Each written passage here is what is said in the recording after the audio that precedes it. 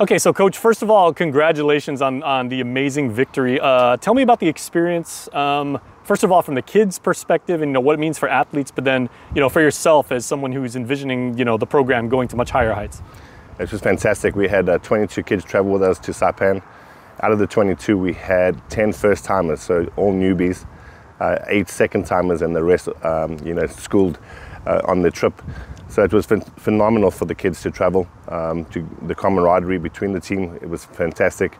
Uh, we had under 12, under 14, under 16 kids travel to Saipan and it was absolutely amazing. Hmm. Now, Camden Camacho, like one of our young tennis stars, he actually told me um, last time I interviewed him right here, actually, was he said, you know, I really feel like tennis is really starting to pick back up on Guam. He goes, you know, it kind of like, you know, like most sports do, it kind of uh, dipped a little bit, but he goes, more youth are getting involved. Some of the, you know, the older folks are getting, um, coming back into the sport. What would you say like about the caliber and the participation and the sense of community we have? Absolutely. With this new tennis center here in Dededo, the, the Guam National Tennis Center is absolutely phenomenal. 11 courts, there's more people playing. We have the ROGY system involved, which is the under from four years old all the way up to 18. Um, on the junior national team now, we have uh, 31 participants on the team.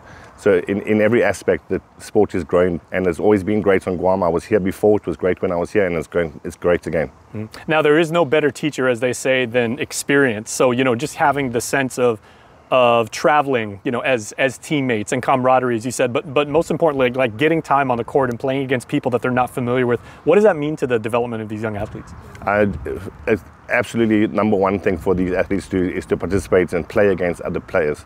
Uh, under 12 athletes in, in a very short space of time, uh, from being a little bit hesitant on the court to be, being able to uh, with confidence, you know, say the score, serve out, serve in, playing, playing, rallying points, uh, and, and actually the, the friendships that we were made were absolutely amazing. To see them in a very short space of time, two or three days, jump up that scale, which is absolutely, it's, it's so exciting to see. Hmm. And did the youth also, did they play in singles, doubles, and mixed doubles? So the under 12 is a team event, which is fantastic. They get to play uh, uh, 1v1 uh, singles and then reverse singles and then the doubles. So it was absolutely amazing. Our under 12 boys were undefeated Our under 12 girls, first timers actually won their first doubles match together and they won several singles matches throughout the course of the week.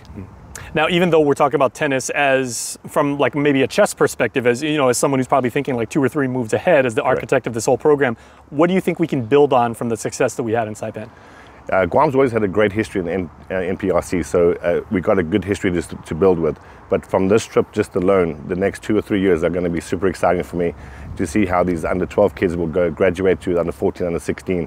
We've got some great kids uh, aging out, and we've got a great bunch of great crop of kids in the pipeline to, to fill those shoes.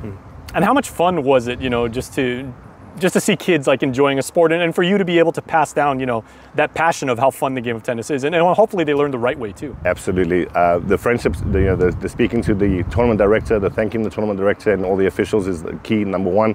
But also just how there's tons of photos, which I'm sure you'll share, of us just sitting around having a great time uh, playing Leo playing the ukulele, uh, Eddie playing the ukulele, singing.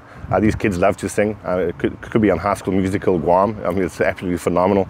Uh, but just sitting around enjoying, and the biggest part, which I tell the parents, is the meals. The, sharing the meal together is absolutely phenomenal.